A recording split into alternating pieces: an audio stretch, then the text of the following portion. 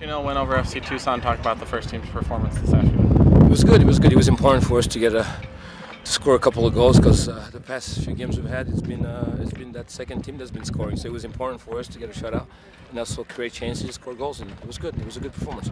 We all got a little tired at the end, but it was good. So.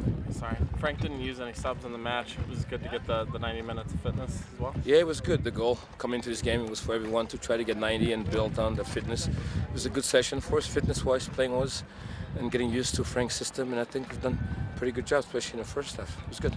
You had a quite a goal to, to end the first half. Talk about uh, how you lined that one up, and, and do you think you're going to score it? It's, it's kind of a Rolfie goal right there, you know. I uh, at the end of training, I like taking shots on goals and stuff with Chris and Patrick crossing the ball. I usually do it for fun, but it's also an exercise. And today worked, and it was good. You know, maybe maybe nine times out of ten doesn't work, but today got put it back in the net. It was good.